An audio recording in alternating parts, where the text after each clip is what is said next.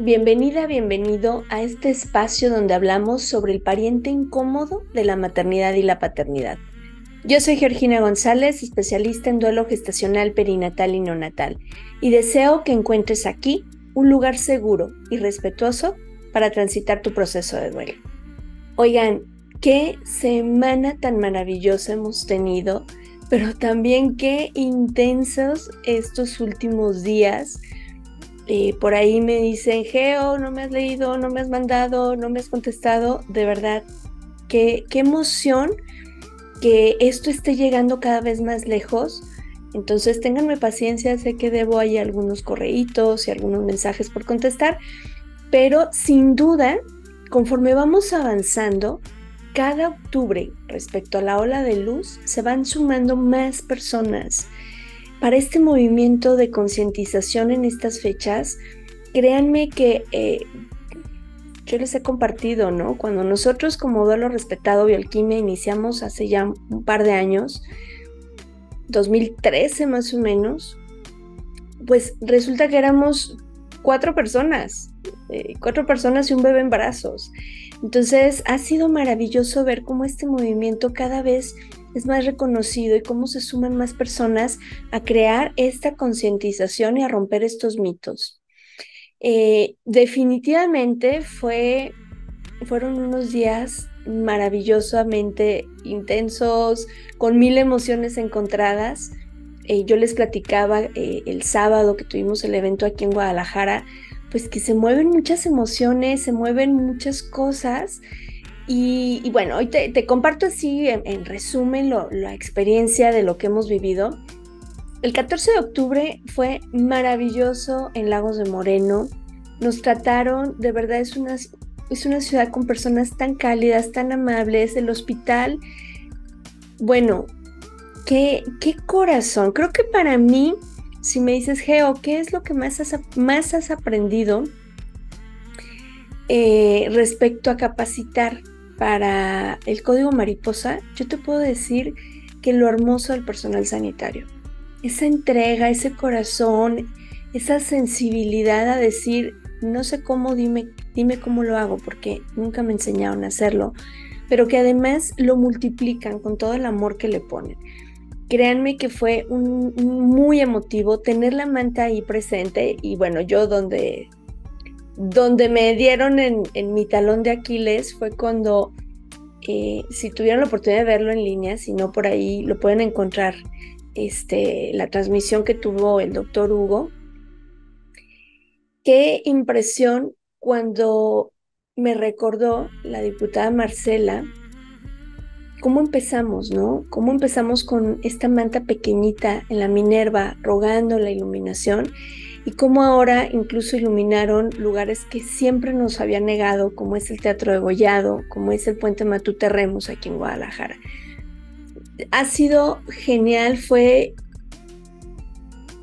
Ay, miren, se me vuelve a quebrar la voz. Escuchar que ya es oficial ese día, que ya no íbamos a tener que seguir en ese rincón del olvido, es, es un sueño hecho realidad yo ya no puedo cambiar mi realidad y se los he compartido muchas veces, pero que quienes vengan detrás de nosotras y de nosotros puedan encontrar un escenario respetuoso. No va a quitar el dolor definitivamente, pero tampoco le van a sumar.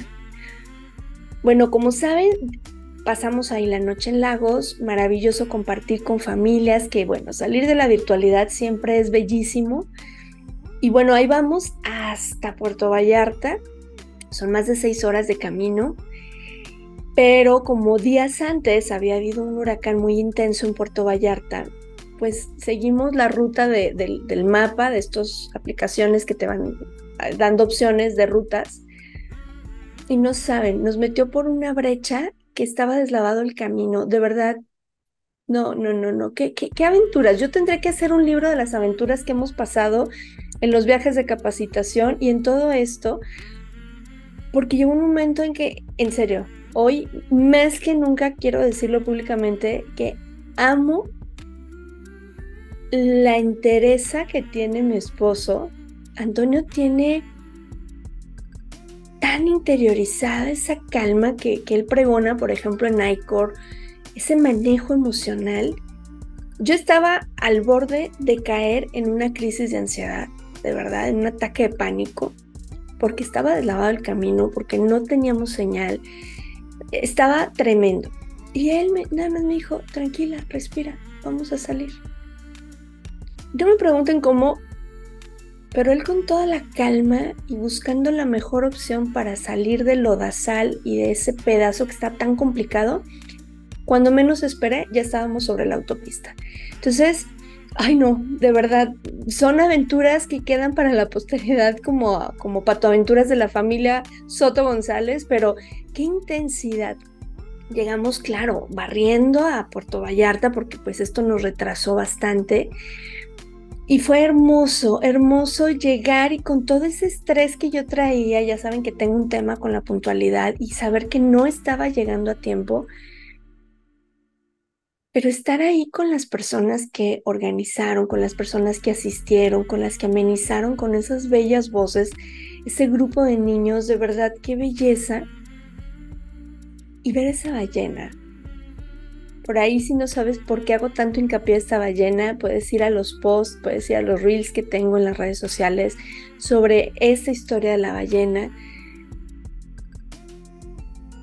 Y después cuando el licenciado, que ya lo habíamos compartido en un live, me vuelve a decir, es que Geo, el artista quiso compartir cómo las mamás sostienen a sus hijas, a sus hijos y cómo sostienen en una aleta todo ese peso de esa responsabilidad y dije, es que es el proceso de duelo. O sea, esta ballena no solo representa la maternidad, porque es un homenaje a la maternidad, representa a todas, todas las maternidades tan diversas que existen, pero concretamente en este día verla iluminada de rosa y azul, wow, o sea, es sin palabras, de verdad te quedas sin palabras. Entonces fue bellísimo.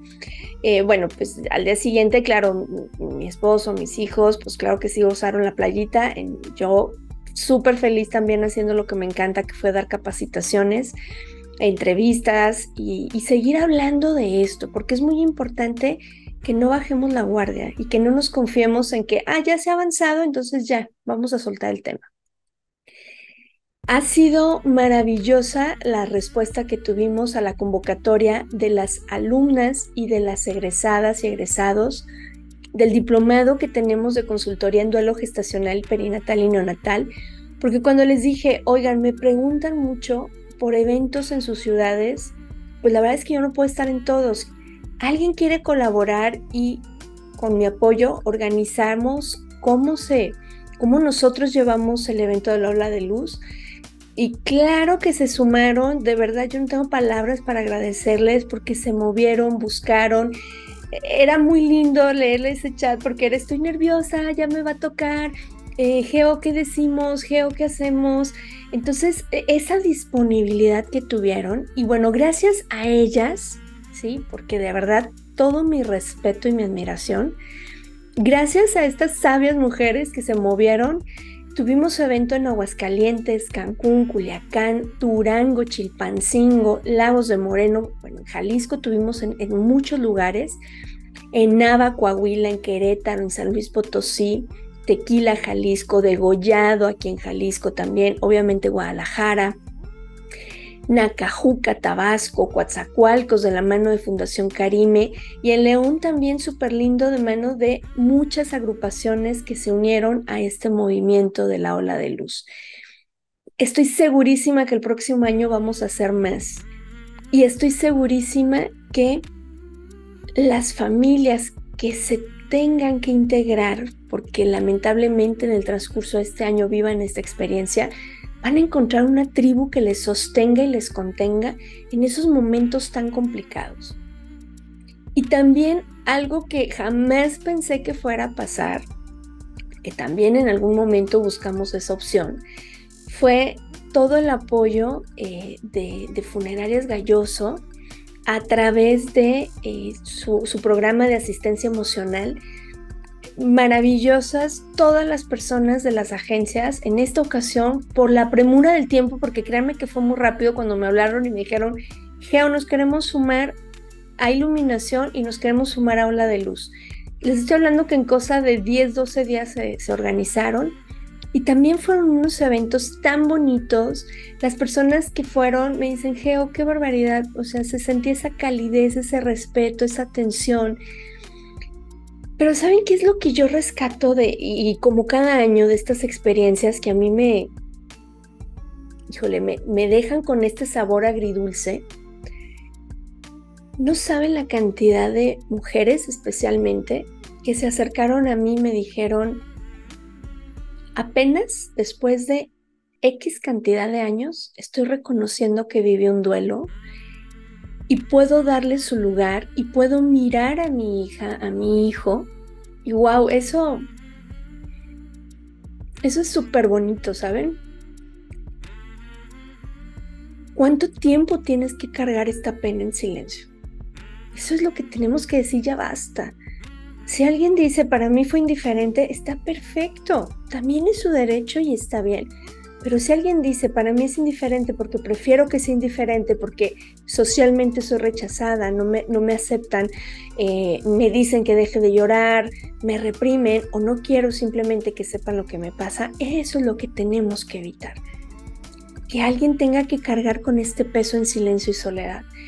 Y creo que todos estos movimientos que, bueno, yo les comparto lo que de fuente directa sé por duelo respetado, pero somos miles de agrupaciones en todo el país y en toda Latinoamérica alzando la voz ante este movimiento de, hey, aquí estamos, deja de ocultar estos duelos y deja de silenciarnos.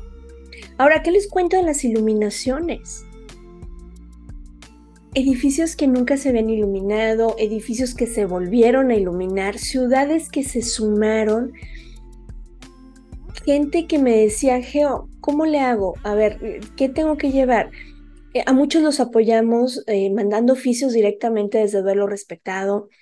Eh, todas estas convocatorias salen normalmente en julio, porque ya para agosto hay que tener ya las agendas listas.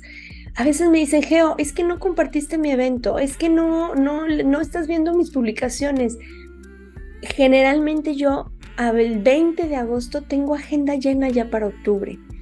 Por eso es muy importante que no dejemos que se nos acumule. Y si tú quieres iluminar para el próximo año, la intención, esperemos que ya esté la iniciativa de cunas vacías aprobada, la propuesta de que sea el Día Nacional el 15 de octubre aquí en México y eso nos va a facilitar muchísimo las cosas. Pero no es solamente el iluminar los edificios, es como en este día a día vamos también nosotras y nosotros validando. ¿Cómo acompañamos a quien pasa un momento adverso en su vida? Creo que eso, eso habla más del movimiento en sí que las iluminaciones y todo. Claro que son importantes y claro que vamos a seguir trabajando para que ya no tengamos que rogar que nos iluminen. Pero aquí lo que quiero que quede como este mensaje es que en primera, sin el apoyo de toda esta tribu, eh, no hubiera sido posible nada de esto, ¿sí? Desde quien aporta a con quién contactarte, cómo llenarlo, cómo llevarlo, eh, todos hasta quienes asisten, quienes pasan la voz, quienes, quienes comparten, eh, comentan en las publicaciones. Esa parte también es muy importante. A veces me dicen, Geo, ¿cómo, ¿cómo apoyamos el proyecto de duelo respetado? A veces con que comentes en los comentarios, valga la redundancia, con que dejes tus comentarios, compartas con la gente que sepas que le puede ser de utilidad la información, puede ser de muchísima ayuda porque esto hace que la voz se vaya regando. Y así como tú te enteraste de este proyecto y de muchos otros de otras colegas, pues seguramente alguien que necesite a través de ti también se va a enterar de estos proyectos. Entonces te invito a que no bajemos la guardia y que sigamos hablando de este pariente incómodo de la maternidad y la paternidad, pero no solamente en el mes de octubre, que todos los días sean días para concientizar en que necesitamos protocolos de atención para todos los hospitales que necesitamos los permisos por maternidad y paternidad, que necesitamos que se apoyen las iniciativas que se estén promoviendo, que necesitamos que estas personas reciban un trato digno y respetuoso, con información adecuada, con herramientas que les ayuden a transitar su proceso y también un trato digno a estos bebecitos sin importar las semanas, el tiempo o los gramos que tenían. De verdad, muy, muy emocionada con, esta semana. Yo todavía sigo acomodando cosas, se me movieron muchas cosas. Eh, creo que de por sí octubre es un mes que normalmente traigo mis ojos más hinchados que de costumbre. Eh, este octubre de 2023 ha movido y removido muchísimas cosas, muchísimas cosas. Y bueno, es parte también de ir acomodando. Si es que no bajemos la guardia, sigamos hablando de estos temas y sigamos acompañando estas maternidades y estas paternidades.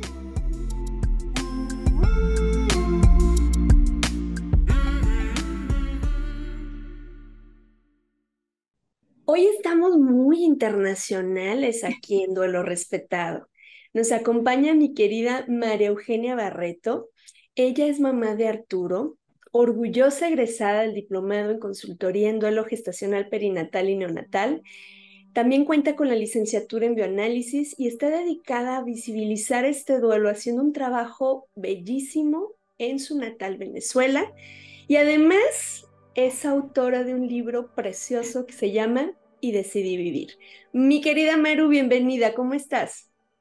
Hola Geo, muy bien, emocionada de, tu presentación y emocionada de esta invitación para, para contarles qué, qué estamos haciendo en Venezuela y contarles mi historia. Qué belleza, qué belleza. Y a mí la verdad es que desde que nos conocimos, desde que nuestros hijos confabularan para que los caminos se cruzaran, de verdad que ha sido un honor caminar a tu lado, mi querida Maru. Y bueno, platícanos, ¿cuál es tu historia? ¿Cuál es la historia de tu vivencia en este proceso de duelo? Sí, fíjate, yo tengo 14 años de casada con Salvador. Y eh, ya a los dos años de casado decidimos comenzar una familia. yo digo decidimos como que si eso es así, eso es lo que uno cree. Y bueno, eh, comenzamos a buscar y, nada. Eh, decidimos ir al, al ginecólogo y nos mandaron estos tratamientos, relaciones dirigidas, todo aquello hasta que ya se dio un tiempo y ingresamos a inseminación artificial. Con inseminación artificial tampoco pudimos eh, obtener un embarazo y eh, nos ubicamos a un médico que nos dijo o me dijo que mis trompas estaban tan tapadas que ni, el, ni un espermatozoide con la capa de Superman podía atravesar. Y yo debía ir a cirugía. Efectivamente, fui a cirugía, me operaron, me destaparon las trompas de falopio y encontraron un mioma en el fondo del útero y lo sacaron. Eh, a los tres meses, el doctor me dijo, ya estás de alta, ya puedes comenzar a buscar bebés. Al cuarto mes, ya yo estaba embarazada. Y de un, de un, de un embarazo, imagínate tú, súper deseado pero en la semana 34, con cinco días de, gestación, mi útero se reventó y mi bebé falleció. Arturo fallece eh, porque el útero se, reventó y él, se él, estaba expuesto en la cavidad. Arturo era con 34 semanas, pesaba 2 kilos 800, era un bebé gordito y eh, contrariamente a lo que uno a lo que uno quisiera, el médico me dijo, su peso te salvó a ti de que tú no murieras, porque una ruptura uterina es como un disparo en el corazón a quemarropa. Es de las urgencias obstétricas más importantes que hay. Y el médico dice, él sale de la cirugía y dice, no sé lo que hice, pero yo a ella le salvé el útero y le salvé la vida. Entonces, eh, fue, fue, una, fue algo muy, muy difícil el, el, saber que ya yo la semana pasada me estaba imaginando una vida con un bebé y salgo a terapia salgo de la cirugía a terapia intensiva y me dicen ya el bebé no está. Entonces ahí comienzo yo a conocer lo que es el verdadero dolor. Ahí comienzo yo a, ver y a, y a, sentir lo que era de verdad el, el dolor tanto físico como emocional. Esa es mi historia de cómo me convertí en una mamá en duelo gestacional. Y cómo, Meru, ahorita tus palabras me resonaron mucho. ¿Cómo va uno un día con una ilusión, con una esperanza y sales al otro con un mundo totalmente desconocido, donde no sabes si subes o bajas, donde no sabes ni siquiera si esto es una broma, si es un sueño, si realmente me está pasando. Esta, esta parte de, de la incredulidad, ¿no? De lo que estamos viviendo, porque sí parece fuera de la realidad. Y en este aspecto, Maru, en tu caminar, en tu día a día, ¿cuáles consideras que son los retos o las dificultades a las que tú te has enfrentado en tu proceso? No solo a ti, Meru, como mamá, como pareja, sino también socialmente, porque hablábamos hace ratito como pues en Venezuela apenas comienza a tocarse este tema. ¿Cómo ha sido esto, Meru? Para mí, uno de los retos eh, a los que me enfrenté fue la sociedad, porque yo, eh, yo hice, no, fue una promesa. Yo me dije, yo no puedo olvidar a este bebé porque una de las cosas que a mí me dio miedo fue, ¿y si yo me olvido de él? Porque uno no sabe qué va a pasar, a uno no le dicen qué va a pasar. Y es por eso que se necesita tanto de, de otras personas que lo han vivido que te acompañen. A mí nadie me acompañó y me dijo, no lo vas a olvidar. Yo pensé que, que yo me podía olvidar de mí. Y yo decidí cuando yo salí de aquella clínica, yo decidí que yo no lo iba a olvidar y la manera en que yo creía que no lo iba a olvidar era hablando de él. Y yo comienzo a hablar en la familia de Arturo. Y mi familia asumía que al yo salir de la clínica, Arturo iba a desaparecer de la vida. Mi familia y, y la sociedad que me rodeaba. Y comencé a hablar de él comencé a investigar qué era lo que yo estaba sintiendo y es cuando me doy cuenta que yo estoy en duelo, porque eso no lo dicen. Entonces uno cree que lo que uno siente fue un sueño, lo que, tú, lo que uno vivió fue un sueño y que ya a partir de que el bebé no está no te va a doler. Y es todo lo contrario, o sea, esto es un duelo que trata del futuro que creíamos que íbamos a tener y que ya no existe y no va a existir. Entonces, para mí, integrarme a la sociedad fue bastante complicado porque yo me integré con Arturo al y a la sociedad no le gustaba eso. A la gente no le gustaba que yo hablara de Arturo y me decían cosas como que déjalo descansar, chica, supéralo. Eh, eso, eso, eh, eh, si no lo conociste, ¿cómo, lo vas a, ¿cómo vas a hablar tanto de él? Y es cuando yo comienzo a tener un duelo muy, muy de investigar, un duelo de, comenzar a investigar y me doy cuenta que en otros países el trato es diferente. Y dije, no, yo, yo tengo que, que generar un cambio, pero todo aquello yo lo razono con el dolor de que yo tenía tres meses, cuatro meses de haber perdido un bebé. O sea, era algo que yo sentía que tenía que hacer, pero no tenía la madurez ni tenía la fuerza para hacerlo. Entonces creo que el mayor reto que tuve yo como mamá en duelo al principio fue enfrentarme a la sociedad con Arturo al lado, diciendo yo soy mamá y la gente no lo entendía, la gente no lo comprendía. Entonces ese creo que fue, fue mi mayor reto, enfrentarme a la sociedad diciéndoles yo soy una madre estoy en duelo es otra cosa, pero yo soy una madre.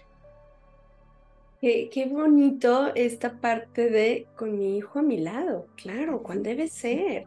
¿Cuál debe ser? Porque luego uno agacha la cabeza y entonces cedes ante la presión y te cuestionas, ¿será que no lo dejo descansar? ¿Será que el que no esté lista para arreglar sus cosas, depositar sus cenizas, muchas otras razones, ¿será que es porque estoy mal? Cuando estamos en esa parte álgida del proceso de duelo, donde necesitamos tanto apoyo, tanta contención, tanta validación en el sentido de, sí, claro, estás en duelo y escucho tu lamento. Y sé que muchas y muchos de, de nuestros seguidores ya han escuchado tu maravillosa ponencia que tuviste en las jornadas, en el ciclo de conferencias, pero sí me gustaría que retomáramos, Maru. O sea, tú llegas y te plantas con Arturo al lado, con tu esposo, en esta parte de mírenos, aquí estamos, somos una familia, aunque tú creas que solo somos una pareja. ¿Cómo surge la maleta de Arturo? Bueno, eh, yo siempre inicio la historia diciendo curiosamente. Curiosamente, yo en el embarazo no quise arreglar el cuarto eh, no había manera de que yo arreglara el cuarto. Y Salvador me decía, vamos a arreglar el cuarto, ¿dónde va a dormir ese niño? Y yo le decía, en el cuarto con nosotros, no te preocupes. Yo, Geo, lo único que quería arreglar, mi único objetivo era arreglar la maleta. La maleta que iba a llevar fórmulas lácteas, ropa identificada con cada día, pañales, todo lo que una mamá prepara para, para ese encuentro, para conocer a esa persona tan especial. Y bueno, yo preparé la maleta, no hicimos el cuarto, pero sí preparé la maleta. Y una vez que Arturo fallece, la maleta queda guardada en lo que era el cuarto de Arturo. Un cuarto donde estaba la caja de la cuna, la caja de, del coche, la caja de todo lo que uno compra para ellos, pero sin sacar de la caja. Y al ladito estaba la maleta. Entonces, bueno, yo tuve ese duelo eh, muy activo, donde, donde me relacioné con muchas mujeres en duelo, pero en diciembre, nueve meses después de la partida de Arturo, ya, ya a mí me empezaba a preocupar lo que había en la maleta. Y es por eso que el 22 de diciembre abrimos la maleta y bueno, los sentimientos salieron a flote y, y, que fue un momento bien, bien emotivo. Y nos preguntamos, ¿y ahora qué vamos a hacer con todo esto? Ya para ese entonces habían pasado nueve meses y ya yo había entendido que mi hijo había, había llegado con un propósito, pero yo no sabía cuál era. Cuando yo abrí la maleta, yo ahí entendimos que Arturo lo único que había traído a nuestra vida era amor y alegría. Así que eso iba a ser él para otros. Y es así como el 25 de diciembre del año 2014 nos fuimos con nuestra maleta al hospital y entregamos todo lo que había en la maleta de Arturo a siete niños que habían nacido en condiciones eh, complicadas a nivel económico. Y así nace la maleta de Arturo, donde tenemos nueve años rodando por las áreas de pediatría de hospitales de mi ciudad, de Maracay. Y así está, y bueno, es el niño viajero porque anda por todos lados con su maleta, por supuesto, y los papás apoyando Maru como buena mamá en todos los eventos de su criatura, diríamos, por estos rumbos.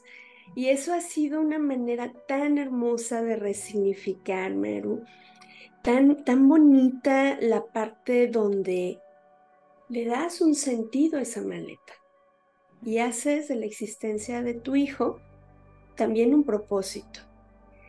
Pero no todo es miel sobre hojuelas, ¿eh? No crean que fue mágico abrir la maleta y decir, ay, sí, vamos a hacer esto y ya todo pasó el dolor. Claro que no, va un proceso. Y dentro de, de este proceso, entiendo que está muy ligado a tu libro, Platícanos, por favor, porque bueno, estamos como muy ansiosas de conocer ya tu material. Cuéntanos, Mary. Sí, el libro, como te dije, yo tuve un proceso muy activo de investigar.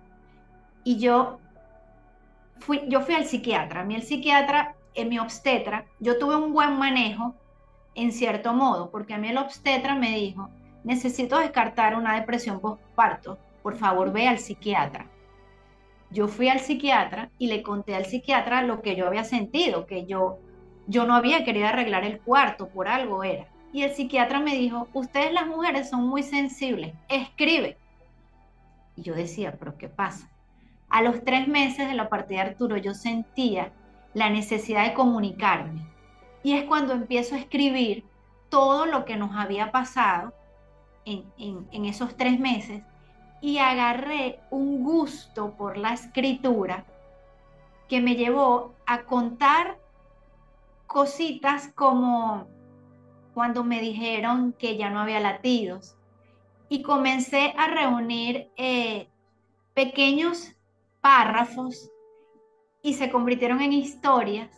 Y así fui escribiendo y escribiendo todo lo que me sucedía en el trabajo, en la casa, en nuestra relación familiar.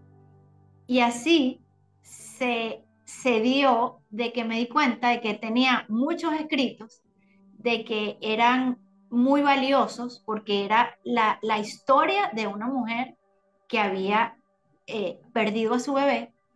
Y decidimos, mira, vamos a escribir un libro en pro de que la maleta de Arturo creciera un poco más nosotros contratamos a una asesora para que nos dijera cómo podíamos crecer más.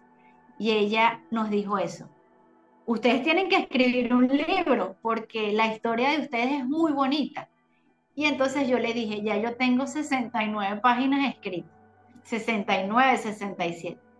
Y ella, gracias al impulso de ella, aceleramos lo del libro comencé a escribir eh, otras cosas, ordené muchos escritos y hoy tenemos un libro que cuenta nuestra historia, tenemos un libro donde tratamos de, de decirle a las mujeres y a las familias que lo viven que la decisión de volver a ser feliz es de ellas y que si tienen fe, si tienen la, la fortaleza de meterse en el duelo y de revolcarse en el dolor, van a poder salir de ahí y van a poder sonreír nuevamente.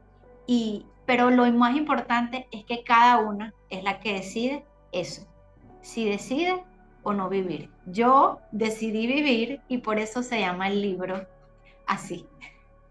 Claro.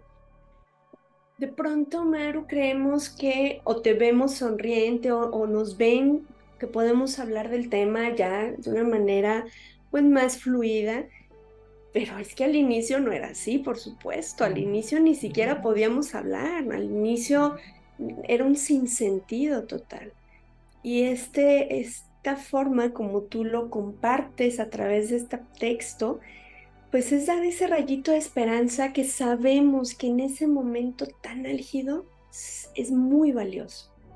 Especialmente si nadie habla del tema, si no hay información, si aunque viva en un país donde quizá ya estén leyes y ya esté muy normalizado hablar del tema, si socialmente no tengo esa red de apoyo, si mi médico, eh, si mi equipo tampoco me apoya en esta parte de, oye, si es un duelo y sin embargo me presionan para ya sal, ya supéralo, ya pasa página, eh, este tipo de material, este tipo de, textos escritos del corazón realmente dan ese rayito de esperanza en medio de esa noche oscura del alma. Y me encanta, y aquí les vamos a dejar la descripción del episodio, por supuesto, eh, la, la, información del libro para que ustedes puedan, puedan leerlo. Y claro que Maru este, ya me encantará que en algún momento nos firmen, nos autografíes ese libro porque sería maravilloso con todo el cariño que le has puesto. Maru, ¿qué les dirías? Sé que en tu libro lo haces, pero a quienes nos escuchan y que están empezando, quizás el primer acercamiento que tienen al, al proceso de duelo y están empezando en este proceso, ¿qué les dirías a estas mamás, a estos papás? Eh, lo primero que les diría es que no tengan miedo al dolor. Cuando tenemos miedo al dolor, no lo enfrentamos. Y al no enfrentarlo, no vamos a salir de él. No tengan miedo al dolor. Eh, no, no tengan miedo a, a eso que van a vivir, porque van a vivir cosas terribles.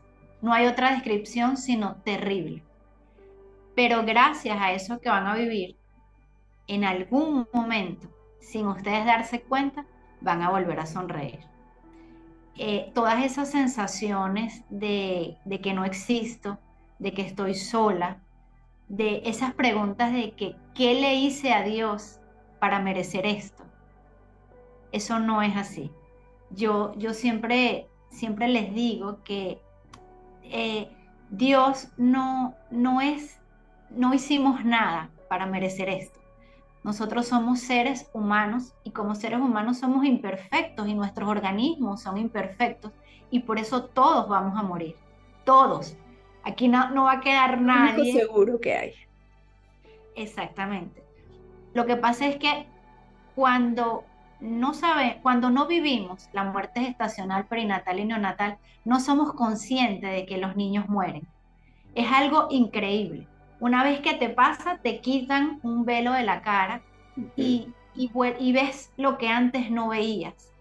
Entonces, eh, deben tener confianza en que el proceso es largo, pero va a pasar esa tristeza, va a pasar esa, esa, esa soledad, que uno se siente único y que uno se siente solo y que uno se siente eh, perdido, eso va a pasar. Y sin darse cuenta, pero la única manera es que se dejen eh, consumir por el dolor del duelo. No hay otra, o sea, el duelo duele, ese es su significado. Eh, no hay atajos, hay que transitarlo.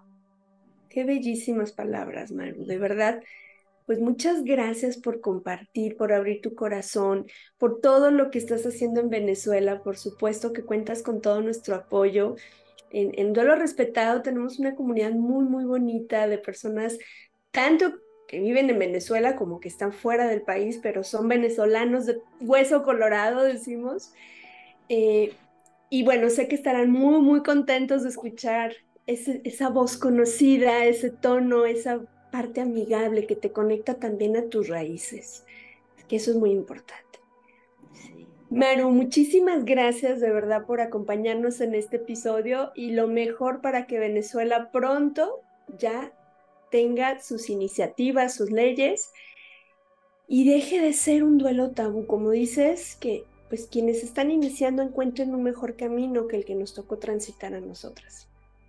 Gracias, Geo. De verdad que para mí hacer el, diplomado eh, me dio otra visión de, de cómo ayudar, de cómo relacionarme con otras personas para que nos ayuden con su experiencia. Ustedes en México tienen una experiencia increíble que, que yo sé que, que van a, a, participar en lo, que, en lo que se haga aquí en Venezuela y, y ayudarnos. y bueno, muchísimas, muchísimas gracias por esta invitación, por permitirme esta pantalla para, para contarles de, de, la maleta de Arturo y, y, de, bueno, y de esta consultora en duelo gestacional, perinatal y neonatal de la cual estamos súper, súper orgullosas y que por supuesto tienes todo nuestro apoyo, Maru. Y gracias también a quienes se conectan, a quienes nos están escuchando. Y déjanos en los comentarios, en redes sociales, desde dónde te conectas para que Maru se emocione, especialmente si eres de Venezuela. Déjale saludos a Maru, porque sé que es muy bonito saber que tenemos también esta compañía. Y Déjanos también si tienes alguna sugerencia, alguna duda. Yo te dejaré los datos aquí en la descripción de cómo localizar a Meru en sus redes sociales. Mi querida Meru, te mando un abrazo muy grande. Gracias. Y gracias también a todos y a todas las que nos escuchan. Les recuerdo, yo soy Georgina González, especialista en duelo gestacional perinatal y neonatal, y deseo que todas y todos podamos tener un duelo respetado. Hasta la próxima.